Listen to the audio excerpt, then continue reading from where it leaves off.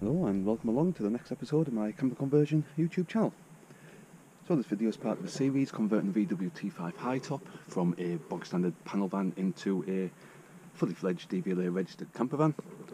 Now the conversion's pretty much all complete now so I'm just doing some of the final finishing touches to the van just to make it all a bit neater, smarter, things like that. As you can see I still need to fit a doorstep on here. But in the meantime this rubber seal it's definitely past its best. As you can see, it's ripped, it's teared. There's no salvaging this seal at all. So this is going to have to come off and get replaced. Now I have ordered a replacement online. I haven't gone for a true VW seal or an official one from VW because those are around about 140, 150 pounds. I've ordered a replacement off eBay. I'll put a link in the description of the video below to where I've bought the seal from and this seal in this packaging here. Cost a grand total of £35 so it's saving over £100 uh, just on a single seal. It's definitely going to be worth it as long as the seal itself's correct. It should be. It's advertised specifically for these vans for this particular door. So the only way to find out really is to rip the old one off and give it a try. I thought I'd do this video just in case anybody thought replacing door seals was actually harder than it is it's really, really simple. It's one of the easiest jobs you can actually do on the van. It is literally just a case of pulling off the old seal all the way around. And as you can see, that's the old seal off. And it's definitely past its best. There's, as I say, there's just no repairing this seal itself. I could have possibly got a smaller section and just cut out the worst area and try to uh, bind in the new section, but I figured I might as well just get a whole new seal altogether, get that fitted, and then at least hopefully I should know then that the actual seal going all the way around the sliding door should be a hell of a lot more watertight than it was especially with this one. So I'm going to get that seal out give it a quick test fit see how it fits. We'll get it ran all the way around. And then hopefully in a matter of 10-15 minutes something like that we'll have a brand new door seal. No more air gaps no more leaks.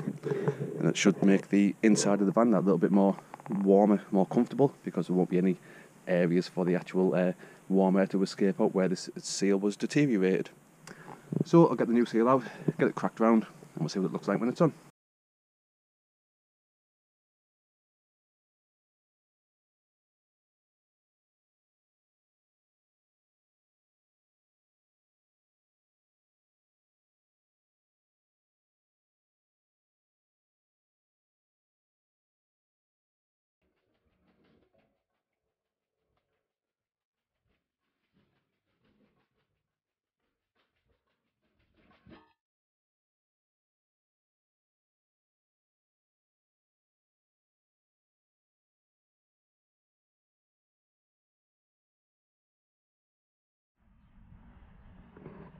Right, so there's the new seal ran all the way around. I've just been using a little plastic mallet just to make sure that it's on as firmly and securely all the way around as possible.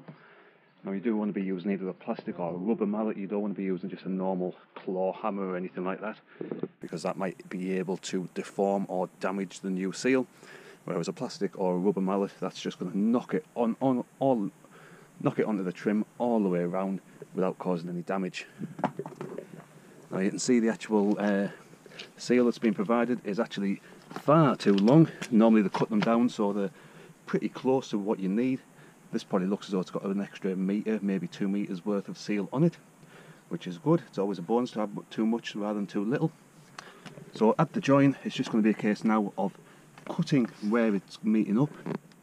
Now you want to cut ever so slightly longer than what's needed, and then feed it in together so they basically butt up right against each other and then when they're malleted back down there should be no moving it at all.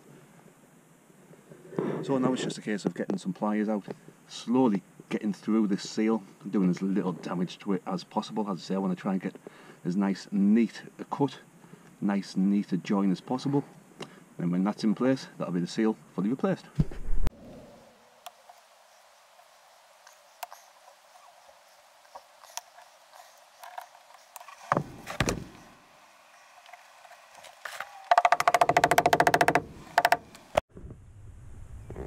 Right, so there's all of the excess of the rubber seal cut off. As I say, there's quite a lot of excess there. Wasn't expecting that much to be spare.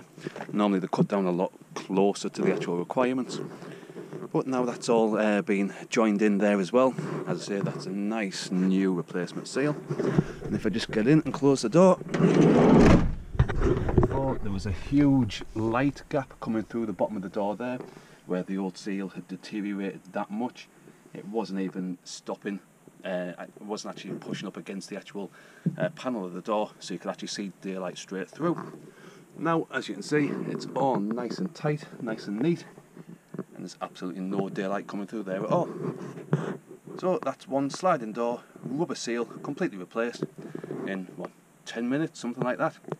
Really really simple, easy job to do and it can transform the actual uh, air tightness of the inside of the van so to speak as I say there was a huge gap going along there before where the old seal had fully deteriorated and now that's fully sealed up.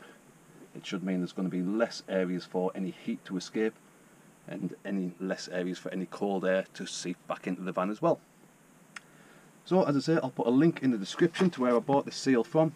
It's a nice neat fit, it looks pretty much standard compared to the uh, the original seal that was in as well so I do recommend these from the looks of this that's gone on straight away nice and easy no problems so as I say, I'll put a link in the description for the seal in case you need to replace your own as well.